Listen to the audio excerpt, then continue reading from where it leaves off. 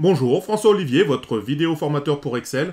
Aujourd'hui, je vais vous montrer comment on peut facilement réaliser un agenda, un calendrier dans Excel, deux jours ouvrés, deux jours ouvrables et bien sûr deux jours normaux, je dirais entre guillemets.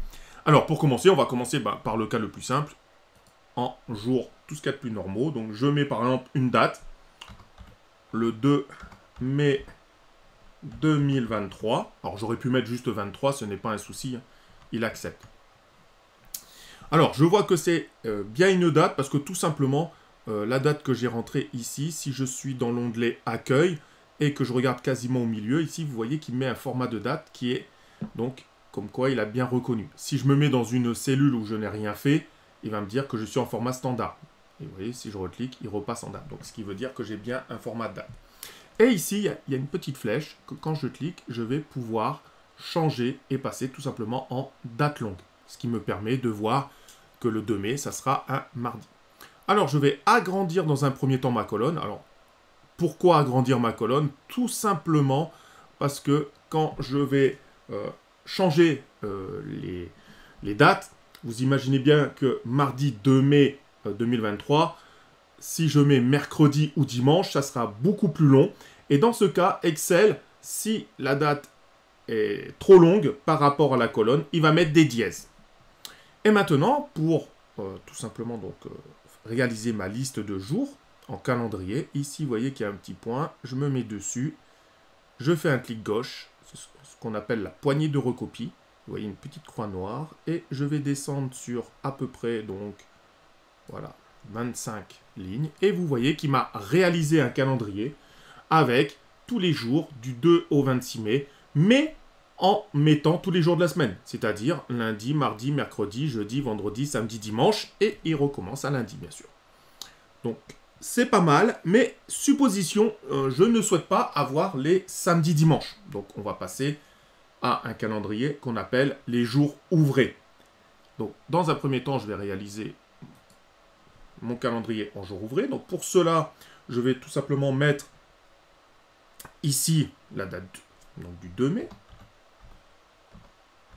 Et je vais mettre 23 et vous allez voir, il vous met, vous voyez, 2023, donc il n'y a pas de souci. Je vois bien, toujours dans l'onglet accueil, que je suis au format date. Je vais pouvoir passer en date longue, comme j'ai fait avant. Agrandir ma colonne, sans problème. Et je vais prendre ici, vous voyez, le petit point que, comme tout à l'heure, j'ai glissé jusqu'à la ligne que je souhaite. Alors vous allez me dire, oui, mais ça ne change pas. C'est vrai. Mais ici, vous voyez, j'ai un petit carré. Et quand je passe la souris, vous voyez, il me dit que ce sont les options de la recopie incrémentée. Hein. vous voyez, tout en bas. Donc je clique dessus. Et j'ai une liste ici, justement, d'options où je vais pouvoir choisir, par exemple, et vous voyez, d'incrémenter les jours de la semaine, les mois ou les années. Donc moi, je veux les jours de semaine. Et quand je clique dessus, vous voyez que du coup, je commence le 2 mai, je termine le 5 juin, alors que tout à l'heure, je terminais le 26 mai. Et dans la liste, vous voyez bien que je n'ai plus de samedi, dimanche, ce qui est tout à fait bien. Mais par contre, un petit souci, c'est que si je regarde par rapport ici à un calendrier où j'ai mis les jours fériés, je vois qu'en mai, il y a le 8 mai. Et vous voyez que ici, j'ai bien le lundi 8 mai. Ensuite, j'ai par exemple le 18 mai et j'ai ici le jeudi 18 mai, etc. Donc, c'est bien, j'ai enlevé les samedis dimanches, mais ça veut dire que mon calendrier ne tient pas compte des jours fériés. Donc, nous allons voir comment on peut réaliser un calendrier, un planning ouvré, sans samedi dimanche, et aussi sans les jours fériés. Alors, dans un premier temps, je dirais, il est évident de devoir mettre dans Excel à un endroit un calendrier de l'année avec les jours fériés afin de les communiquer à Excel, car il ne les connaît pas. Et maintenant, je vais donc faire comme tout à l'heure. Je mets la date du 2 mai 23. Je vais repasser en date longue. Agrandir ma colonne. Voilà, donc jusqu'à maintenant, c'est tout à fait du classique. Par contre, je ne peux pas utiliser, euh, vous avez vu, la petite poignée pour tirer, vu que ça ne tient pas compte des jours fériés. Donc pour cela, je vais devoir utiliser une formule avec une fonction. Donc je vais me rendre ici, j'étais dans l'onglet accueil. Vous voyez qu'il y a insertion, mise en page, formule. Je me rends dans formule. Ici, je trouve les formules qui sont rangées par grand sujet, vous voyez, financier, logique. Et bien sûr, il y a un sujet qui s'appelle date et si je clique et que je cherche euh, les fonctions qui font référence au jour ouvré, je dirais il n'y en a pas 50, il y en a deux. Si je descends, je trouve nombre de jours ouvrés. Alors ici, je ne veux pas calculer le nombre hein, euh, entre deux dates. Voilà, combien il y a eu de jours ouvrés, ce n'est pas le sujet. Moi, ce que je souhaite, c'est de faire un planning. Et eh bien ici, je vais utiliser la deuxième fonction qui est série jour ouvré. Je clique dessus. Il me demande la date de départ, donc c'est la date où je commence, bah, c'est le mardi 2 mai. Il me demande ici le nombre de jours que je vais donc euh, ajouter. Bah, je vais ajouter un jour. Il me demande la liste des jours fériés. Eh bien, je vais lui indiquer. Donc, je vais cliquer ici et je vais sélectionner du 1er janvier jusqu'au 25 décembre. Et pour éviter que quand je vais faire mon planning et tirer la formule que mon tableau euh, des jours fériés bouge aussi, je vais tout simplement mettre euh, du coup des dollars. Et pour cela, je peux tout simplement utiliser donc une touche qui est F4. Voilà, alors je me mets sur B2, j'appuie sur F4, je me mets sur B14, j'appuie sur F4, et vous voyez, ça met des dollars, dollar B, dollar 2, 2 points, dollar B, dollar 14. C'est ce qui va empêcher, c'est pour figer, pour empêcher que ça bouge quand je vais descendre. Je fais OK. Et maintenant, vous voyez qu'il m'a mis ici un nombre. Alors, ce, n'est pas un problème, il hein, ne faut pas paniquer. Je retourne dans l'onglet Accueil.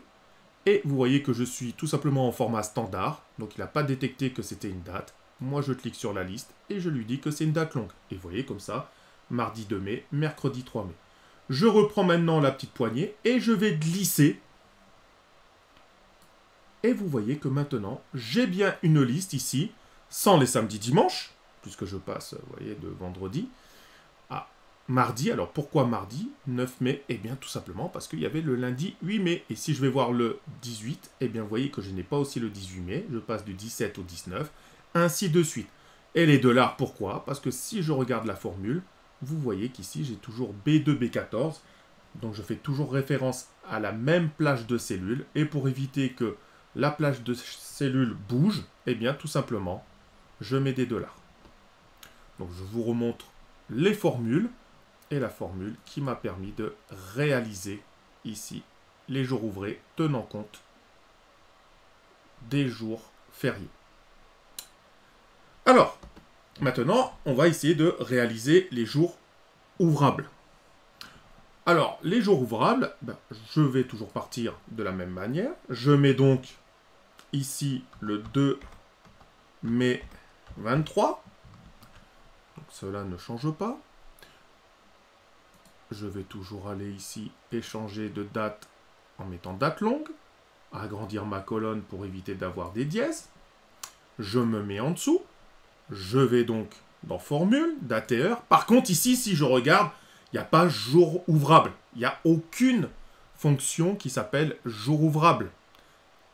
Vous voyez, il n'y en a pas. Alors, comment on peut réaliser ceci? Eh bien, on va utiliser la même fonction, série jour ouvré, sauf qu'au lieu d'utiliser série jour ouvré, qui est tout simplement euh, configuré euh, dans notre cas pour la France, et donc c'est-à-dire que euh, on ne travaille pas les samedis dimanches, je vais utiliser ici une autre fonction qui s'appelle, comme vous pouvez voir ici, série jour ouvré international et qui va nous permettre de choisir justement les paramètres de week-end, voyez, personnalisés. Donc je clique dessus. Voilà. Ici, il va me demander donc la date de départ. Cela ne change pas c'est toujours mon mardi. Le nombre de jours, c'est toujours un jour que je veux incrémenter. Nombre de jours de week-end. Alors, ici, soit on connaît parfaitement, euh, je dirais, parce qu'on l'utilise souvent, euh, la fonction, soit si je veux donc euh, lui dire que je ne souhaite pas les dimanches, et en jour ouvrable, c'est les jours de la semaine du lundi au samedi, sans le dimanche, eh bien je peux mettre 11. 11 qui est le code, tout simplement, pour lui dire voilà, mon week-end, c'est simplement le dimanche. Je travaille du lundi au samedi. Je vais ensuite dans jours fériés et comme tout à l'heure, je lui indique les jours fériés du 1er janvier jusqu'au 25 décembre. Et je pense, comme tout à l'heure, à me mettre sur B2 et à lui mettre les dollars avec la touche F4. Je clique sur OK. Comme tout à l'heure, vous voyez qu'il m'a mis ici, comme pour les séries jour ouvrés, un nombre. Je retourne dans Accueil. C'est pas du standard que je veux, c'est une date longue. Je choisis date longue.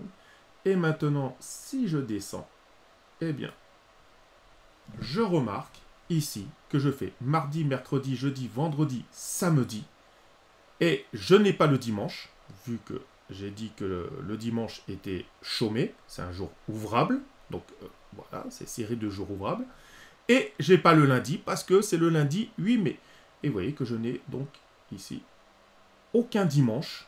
Et par contre, j'ai bien mes semaines du lundi au samedi. Alors, vous allez me dire, oui, mais comment savoir Donc, justement, ici, le code du jour? Eh bien, ici, voilà, je me mets là, vous voyez, c'est non jour week-end. Effectivement, euh, pour le savoir, vous voyez, j'efface par exemple, hein, j'efface et je vois ici directement, vous voyez, le 1 c'est samedi dimanche. Donc ça c'est par défaut, c'est euh, ce qu'on a utilisé tout à l'heure euh, avec la série jour ouvré. Donc elle n'est pas très utile. Le 1, je peux directement utiliser série jour ouvré et du coup, je n'ai pas besoin d'utiliser cette fonction. Par contre, je peux choisir 2 pour dire que je ne travaille pas dimanche lundi. Ce qui peut être le cas des fois pour certains magasins. Je peux dire que je ne travaille pas lundi mardi, mardi mercredi, mercredi jeudi, jeudi vendredi, vendredi samedi. Vous voyez, j'ai ici les possibilités de 1 à 7. Et ensuite, vous voyez que 11, c'est que tout simplement, je ne travaille pas le dimanche. Donc je souhaite enlever le dimanche de mon planning. Ça pourrait être le 12, lundi, le 13 mardi, 14 mercredi, le 15 jeudi, le 16 vendredi, le 17 samedi. Donc, vous allez me dire, effectivement, c'est simple quand on efface et qu'on est en train d'écrire, mais comment on pourrait faire pour le savoir sans devoir, je dirais? Eh bien ici, vous voyez, quand vous êtes en train de rentrer la formule, la fonction, ici, il y a une petite aide, ou quand je suis dans fx, vous voyez ici, il y a marqué aide sur cette fonction, donc je peux choisir et dans ce cas, soit je me rends directement sur Internet, où vous voyez ici qui me met nombre jour week-end, et je vois ici tous les nombres de jours week-end, sans aucun souci. Ou bien, en cliquant dessus, il m'ouvre ici une petite aide. Voilà. Et si je descends directement dans Excel, sans quitter Excel, je vois ici la liste. Et je pourrais choisir. Voilà, donc je vous remontre un peu les différentes formules. Hein. Donc ici, il n'y a aucune formule. Ici non plus, il n'y a aucune formule. Si je regarde, vous voyez, si je double-clique, pas de formule. Pas de formule. Ici, la formule série jour ouvré. Pour juste les jours ouvrés, enlever les samedis, dimanches et les jours fériés. Et ici, c'est série jour ouvré international où je fais un planning en enlevant les dimanches dans mon cas et les jours fériés. Je vous remercie d'avoir suivi cette vidéo formation sur Excel et je vous dis à très bientôt pour une nouvelle vidéo formation.